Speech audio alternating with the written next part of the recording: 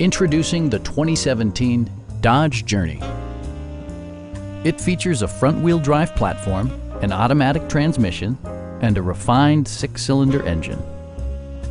Top features include front fog lights, front and rear reading lights, a built-in garage door transmitter, a trip computer, power door mirrors and heated door mirrors, and much more.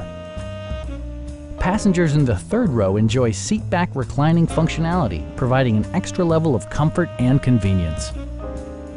Dodge ensures the safety and security of its passengers with equipment such as dual front impact airbags with occupant sensing airbag, front and side impact airbags, traction control, brake assist, anti-whiplash front head restraints, a panic alarm, and four-wheel disc brakes with ABS. Electronic stability control ensures solid grip atop the road surface, no matter how challenging the driving conditions. Stop by our dealership or give us a call for more information.